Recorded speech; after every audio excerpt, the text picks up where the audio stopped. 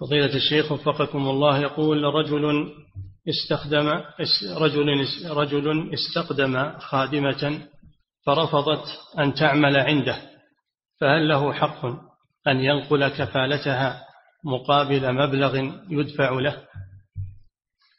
هذا عند عند نظام الاستقدام عند وزارة العمل يذهب إليهم ويطبقون عليه النظام. نعم.